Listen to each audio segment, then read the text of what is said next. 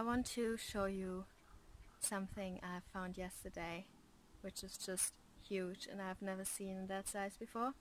And um, I will solve that secret very fast. This is it. It's a huge courgette. It's so big that I don't really know what to do with it. And I have found four of it.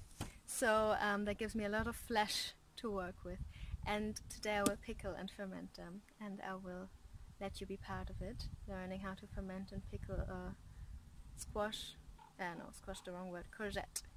Yes. I'm inside now and it's time to ferment the courgettes. Meanwhile the rumor has arisen that the courgette is actually a squash and um, not a courgette. So I don't know, I've tasted it raw I felt it tastes very much like a courgette, but then again also a little like a squash. So I'm really confused. Doesn't matter because we can still ferment it.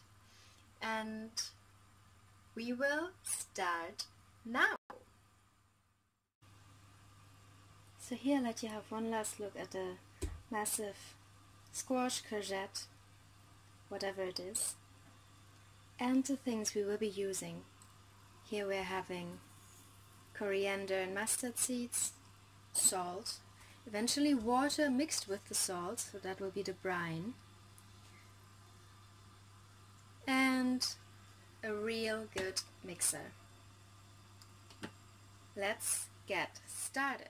Okay, there we go. Cutting the courgette in small pieces, preparing it for the mixer afterwards. Something I will regret because the mixer makes it mainly into a mash consistency, something I find really hard to work with in ferments because I have a tough time keeping them under the brine.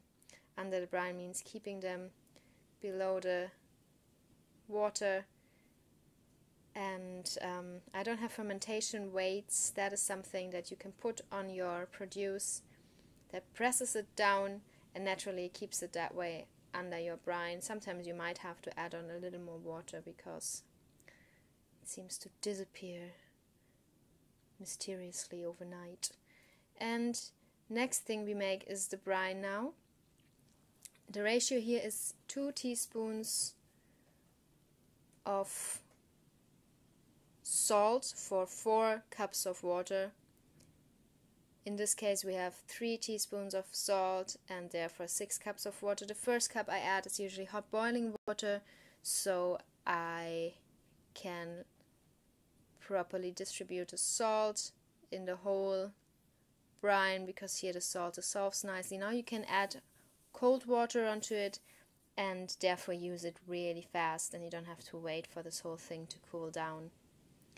That's the amazing brine, something you can use with all the things you want to ferment. Of course, we have the other option of using only salt and no water. So for that you can watch my fermentation tutorial that just focuses on fermenting and also pointing out the, the difference to pickling. So there we go. Now cutting a garlic, I add that onto the fermentation or the thing I want to ferment because it has amazing medicinal properties that are just enhanced by fermenting that. And um, it just really adds a rich taste. I'm also adding coriander and mustard seeds for the taste but also for the properties. Now, fermentation process enhances herbs, plants, veggies with probiotics and a friendly yeast that detoxifies the body and keeps one clean. So, fermented herbs, plants, and anything else, they keep the body vital and they really boost the immune system. It's such a beautiful art in a way, I feel fermenting. It's also finding out over time what you like to ferment, how you ferment it, how often you keep checking on it. It's almost a little like a pet as well. And then to what degree do you let it ferment? Of course, waiting longer makes it even more more sour, but also more rich in the taste. And um, yeah, you're mainly kind of bringing back life to this plant that you're working with. And just really magical. Now here you see the not how not to do it part that I will soon skip. and then I will move to cutting. Okay, so here we go again now, cutting the courgettes a little smaller this time. I will put them now into the mash that I have created and hope that this all will taste really good also in three weeks from now.